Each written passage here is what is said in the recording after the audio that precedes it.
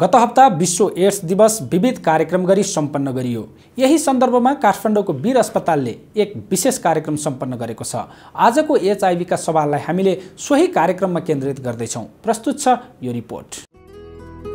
मेरो स्वास्थ्य मेरो अधिकार भन्ने नाराका साथ विश्वभरि नै तिसौँ एड्स दिवस डिसेम्बर एकका दिन विविध कार्यक्रमहरू आयोजना गरी सम्पन्न गरिएको छ। उक्त अवसरमा नेपालमा पनि देशैभरि विविध कार्यक्रमहरू आयोजना गरियो। यही सन्दर्भमा नेपालकै सबैभन्दा पुरानो अस्पताल वीर अस्पतालमा पनि एक कार्यक्रम सम्पन्न गरिएको छ। टेक्निकल अपडेट नाम दिएको उक्त कार्यक्रममा विषय विज्ञहरूले एचआइभी नियन्त्रण र उपचारका लागि भएका आन्तरिक प्राविधिक क्षमताका बारेमा आफ्नो धारणा राख्नु भएको थियो। वीर अस्पतालका सिनियर कन्सल्टेन्ट तथा एचआइभी उपचारका विज्ञ डाक्टर सुशील साक्यले गत वर्ष पनि यस्तै कार्यक्रम सम्पन्न भएको भन्दै गत वर्षदेखि हालसम्मका उपलब्धि र चुनौतीहरू प्रस्तुत गर्नुभएको थियो। गएको सोह्रको एड्स डेमा हामीले यही हलबाट एचआइभी भाइरल लोड गर्ने भन्ने चाहिँ एउटा कार्यक्रम सुरु गरेका थियौँ। र यो वीर अस्पताल कम्प्रिहेन्सिभ केयर सेन्टर हो यो। यहाँ एचआइभी सङ्क्रमित व्यक्तिहरूलाई चाहिने स्वास्थ्य सम्बन्धी सेवामध्ये धेरै जसो कुराहरू उपलब्ध छ। त्यसमा हामीलाई खड्किरहेको कुरा चाहिँ एउटा चाहिँ सिडी फोर थियो। र मैले गएको दुई तिन हप्ता अगाडि के थाहा पाएँ भन्दाखेरि कुनै अर्को अस्पतालमा यो सिडी फोरको चाहिँ प्रयोग भइरहेको छैन। त्यही भएर मैले एचआइबी एनसिएससीको डाइरेक्टर थ्रु त्यो मिसिन यहाँ ल्याउनु खोजिरहेको थिएँ। यही सिलसिलामा कुरा गर्दा गर्दै मैले अचानक के थाहा पाएँ त भन्दा वीर अस्पतालले फ्लो साइटोमिटर भन्ने हुन्छ एउटा जुन चाहिँ एकदमै एडभान्स खालको मिसिन हो जसले सिडी फोर गर्न पनि मद्दत गर्छ। त्यो बाहेक यसले अरू धेरै गर्छ सिडी एट सिडी थ्री होइन अरू धेरै कुराहरू गर्न मिल्छ। तर मैले त्यो थाहा पाउने बित्तिकै मैले गएर निर्देशकज्यूलाई कुरा गरेँ। हामीसँग मिसिन रहेछ होइन?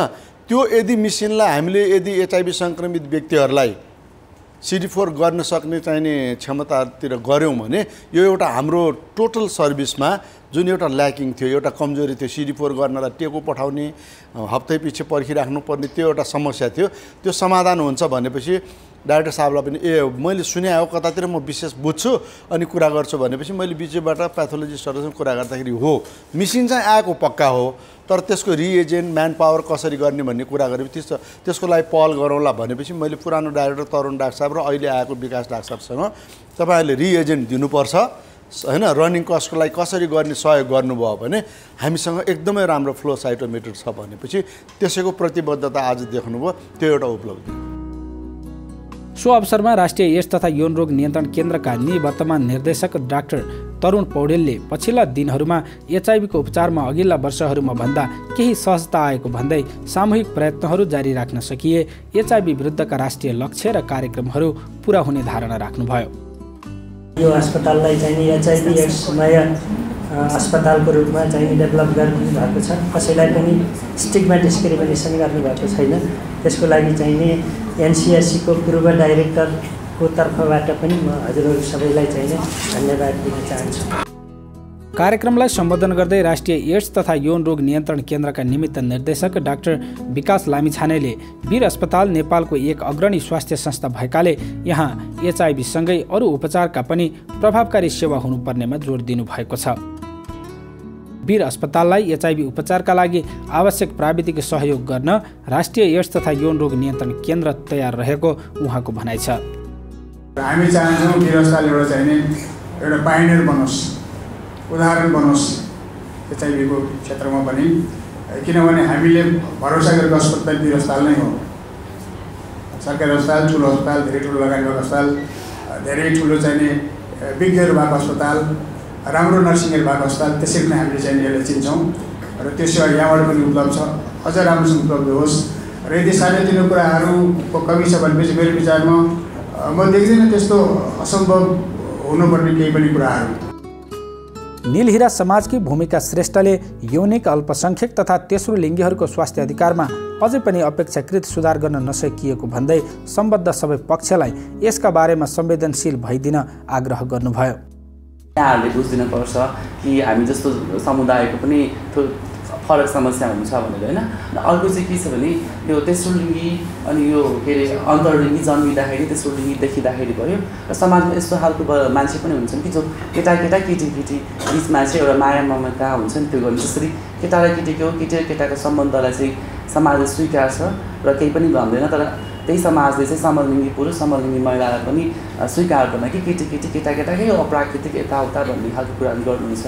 तर हाम्रो यो एलजिबिटिआई भन्छन् एल भनेको चाहिँ लेजबिन जो समलिङ्गी महिला हो जो महिला भएर महिला नै मनपर्छ उसलाई पुरुष मन पर्दैन र समाजले जबरजस्ती विवाह गरिदिन्छ उसको जिन्दगी एकदम बर्बाद पारेको डिभोर्स भएको अनि बच्चाहरू विचलित भएको केस पनि छ होइन हामीसँग चाहिँ। वीर अस्पतालमा देशैभरिका बिरामीहरू उपचारका लागि आउँदछन्। आम नेपालीका लागि यो नै अन्तिम रिफरल अस्पताल जस्तै बन्न पुगेको भन्दै वीर अस्पतालका निर्देशक डाक्टर भूपेन्द्र कुमार बस्नेतले वीर अस्पतालले अझ धेरै संवेदनशील भएर स्वास्थ्य सेवा उपलब्ध गराइरहेको बताउनुभयो। डिफ्रेन्ट स्पेसियालिटी भएपछि डिफ्रेन्ट स्पेसियालिटीमा आउने मान्छेहरूमा एचआइभी पोजिटिभ हुने अथवा यो अरू विविध रोगहरू हुने चान्स त यसै पनि धेरै हुन्छ। त्यसमा पनि यो डिफ्रेन्ट स्पेसियालिटी भएपछि कम्प्लिकेटेड केस यहाँ आइपुग्छन् नै। हामीले सेवा नदिने हो भने त्यो सेवा अरूले दिनै सक्दैन। त्यसैले पनि हामी त्यो सेवाको लागि तयार पनि छौँ तयार हुनु पनि पर्छ र त्यसको लागि कम्पिटेन्सी पनि हामीले राख्नै पर्छ।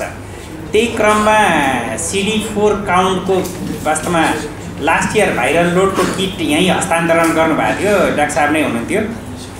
अब हामीले भाइरल लोड त गरिराखेकै हो सिडी फोर काउन्टको बारेमा कुरा भइराख्दाखेरि हामीले नयाँ मेसिन ल्याएको छौँ फ्लो फ्लो साइटोमेट्री त्यसमा चाहिँ सिडी फोर काउन्ट हुन्छ भन्ने कुरा चाहिँ मैले पनि बुझेको छु। अब एक्ज्याक्टली त त्यो त्यो सिडी फोर काउन्टै गर्नलाई त किने होइन तर त्यसमा हुने रहेछ।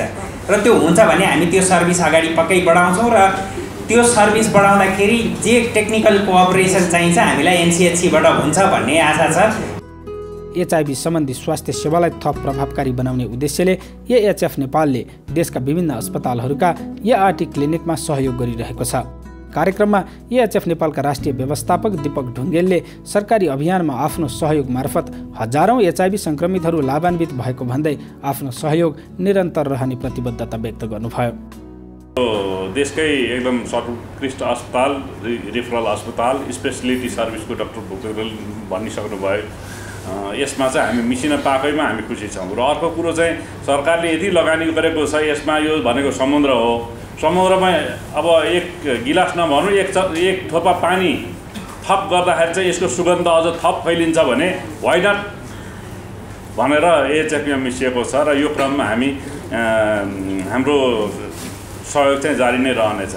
र यसको यहाँ अब एउटा मात्रै उदाहरण दिनुपर्दा यहाँ जुन सिएमई यहाँ रेसिडेन्ट डक्टर साहबहरूसँग रेगुलर नियमित रूपमा भइरहेको छ। उहाँबाट यहाँ कोर्स सकिएर बाहिर जाँदा जिल्लाहरूले बेनिफिट पाएको उदाहरण चाहिँ धेरै यो उदाहरणीय लागेको छ। र त्यस कारणले पनि यहाँ भएको सिएमई कन्टिन्यू होस् र यो लगायत अन्य कुराहरूमा पनि हामीले सानो गर्ने सहयोग निरन्तरता गर्छौँ र यसलाई स्तरीय बनाउनमा वीरस्टलको सुगन्ध वीरस्टलको यश फैलाउनमा चाहिँ हामी यहाँहरूलाई साथ दिनेछौँ सोही कार्यक्रममा भिसी गणेश गुरुङले वीर अस्पतालका विभागीय प्रमुख लगायतका स्वास्थ्य कर्मीहरूको कार्य सम्पादनको प्रशंसा गर्दै टोकन अफ लभ प्रदान गर्नुभयो। वास्तवमा एचआइभी सङ्क्रमण पछिको सबभन्दा ठुलो प्रब्लम भनेको सामाजिक समस्या हो यो कुरा चाहिँ मैले भने। अहिले जस्तो ट्रान्सजेन्डरको कुरा आयो अब हामी डक्टरहरूलाई त यो कुरा ठुलो कुरा होइन किनभने यो भनेको नेचुरल कुरा हो।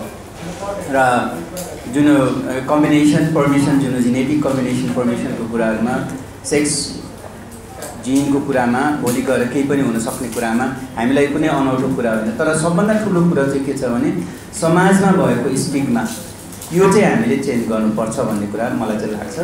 किनभने जबसम्म हामीले समाजको यो यो स्टिगमालाई हामीले चेन्ज गर्न सक्दैनौँ। यसमा ठुलो कुरो मतलब हामीले ठुलो परिवर्तन गर्न सक्दैन भन्छ। त्यस कारणले त्यसैले होला नेपाल सरकारले अथवा हाम्रो सरकारले यसमा अवेरनेस प्रोग्रामको लागि ठुलै धनराशि चाहिँ राखेको छ भन्ने मलाई लागेको छ।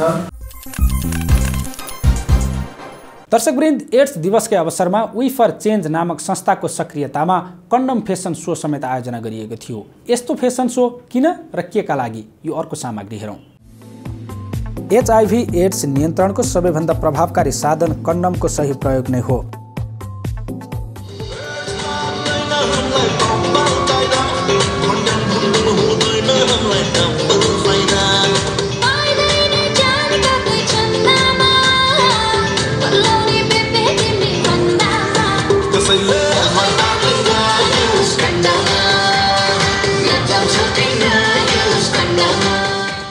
यसका बारेमा प्रचार प्रसारलाई व्यापक बनाउने क्रममा राजधानीमा कन्डम फेसन सो आयोजना गरिएको छ। अन्य विविध प्रकारका फेसन सोका बारेमा आम सर्वसाधारण जानकार भए पनि कन्डम फेसन सो भने धेरैका लागि नयाँ सन्दर्भ भएको छ।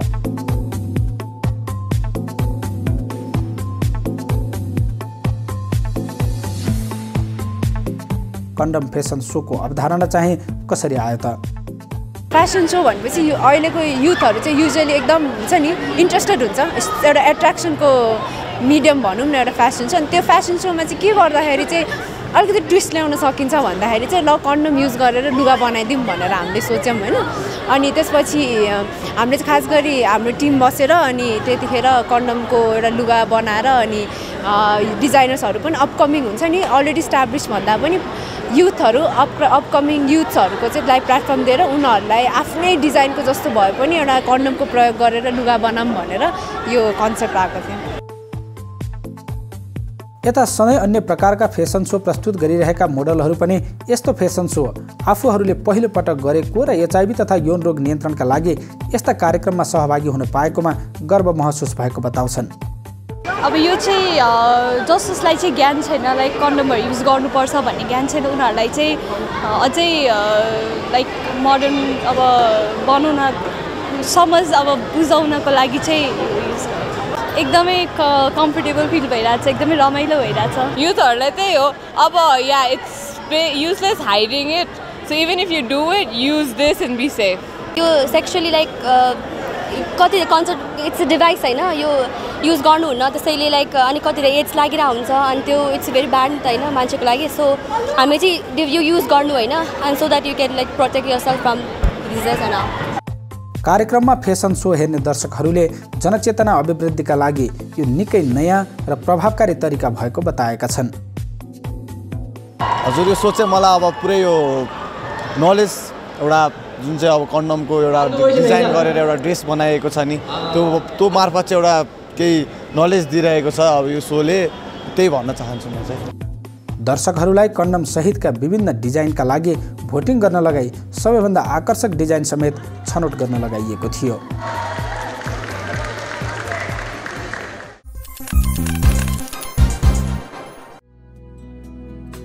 विश्व एड्स दिवसकै अवसरमा चितवन एएचएफले एचआइभी सङ्क्रमित बालबालिकाहरूलाई मनोसामाजिक रूपमा हौसला प्रदान गर्ने उद्देश्यले खेलकुद प्रतियोगिता आयोजना गरेको छ। विश्व एड्स दिवसको अवसरमा गरिएको सामुदायिक परीक्षणका क्रममा एचआइभी पत्ता लागेका आठ वर्षीय बालकबाट उद्घाटन गरिएको उक्त खेल प्रतियोगितामा आठदेखि सोह्र वर्ष उमेर समूहका चौधजना एचआइभी सङ्क्रमित बालबालिकाहरूले सहभागिता जनाएका थिए। उक्त कार्यक्रममा प्रथम हुनेलाई पुरस्कार समेत प्रदान गरिएको छ।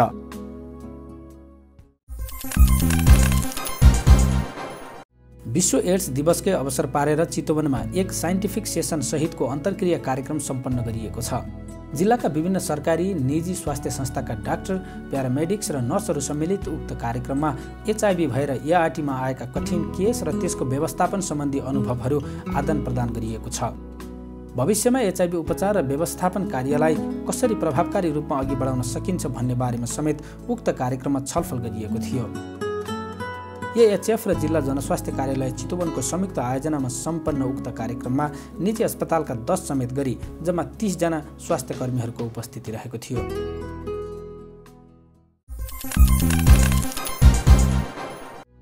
उता कास्कीको पोखरामा पनि एड्स दिवसकै अवसर पारेर कम्युनिटी एचआइभी टेस्टिङ कार्यक्रम सम्पन्न गरिएको छ।